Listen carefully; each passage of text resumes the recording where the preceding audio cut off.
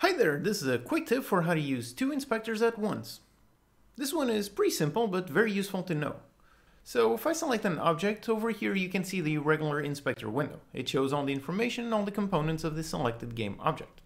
Now one thing we can do is right click and add a second inspector. And now we have two inspectors.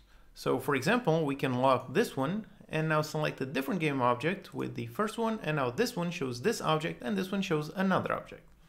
So just like that you can have two inspectors showing two different objects. One thing you can also do by unlocking an inspector is drag a list of objects. So for example here I have a component which takes a list of sprites and this inspector is currently locked so I can go here I select these hearts. As you can see, the unlocked inspector is now showing the information of the selected sprites. And now in here, selecting all of these, I can drag them, and there you go, I have filled my entire sprite list with the selected sprites. And something else which might be very useful for debugging is the fact that you can set one inspector to normal and have a second one showing debug.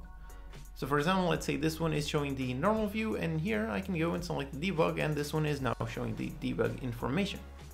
So if you want, you could also select both and there you go, you can see the exact same object, see the normal view and the debug view. And that's it. Hope you found this tip useful. Alright, see you next time.